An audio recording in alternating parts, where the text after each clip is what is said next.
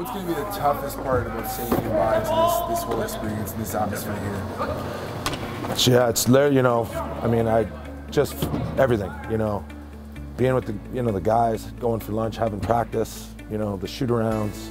You know, working on strategy all week. Um, you know, being in constant contact, and then getting here, and then literally just throwing the stuff off and going going through the tunnel here for the Mammoth is is unlike any other.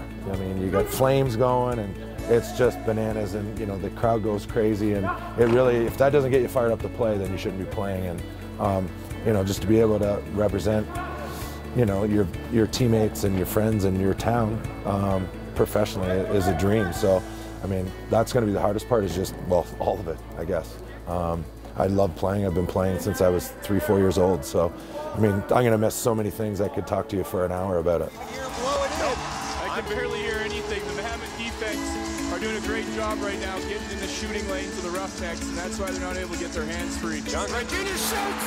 Game winner!